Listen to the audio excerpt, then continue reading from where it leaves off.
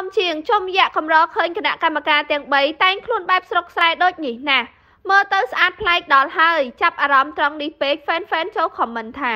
សូមរំលឹកឡើងវិញបន្តិចផងដែរថានៅសល់តែបេក្ខជន9រូបប៉ុណ្ណោះដែលបានបង្ហាញខ្លួនក្នុងកម្មវិធីប្រឡងចម្រៀងលំដាប់ពិភពលោក Cambodian Idol រដូវកាលទី4វគ្គ Live Show នៅសប្តាហ៍ទី5នេះ។ កាលពីយប់ម៉ោង8នាថ្ងៃទី14ខែសីហាឆ្នាំ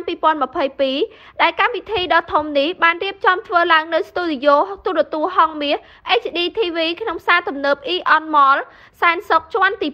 2ស្ថិតនៅក្នុងបរិយាកាសដ៏សែនរំភើបញាប់ញ័រនេះបេក្ខជនទាំងអស់រួមនឹងគណៈកម្មការទាំង4បានធ្វើការតុបតែងខ្លួនបែបស្រុកស្រែជនបទមើលទៅពិតជាស្អាតប្លែក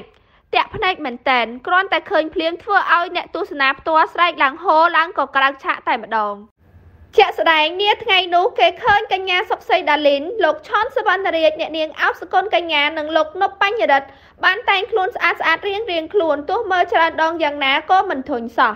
ឆ្លៀតក្នុងឱកាសនោះសុកសីដាលីនក៏បានទម្លាយអារម្មណ៍មួយនេះចេញមកថាសូមជូនរឿងក្រមុំស្រុកស្រែជំពាក់ស្នេហ៍បរោះសង្ហាទាំងពីរ កម្របានស្លៀកពាក់បែបនឹងណាស់សូមខ្ចីបងទាំងពីរដើរតួសិនឃើញបែបនេះហ្វេនហ្វេនក៏មិនចាំយូរដែរក៏បានចូលខមមិនភ្លាមភ្លាមថា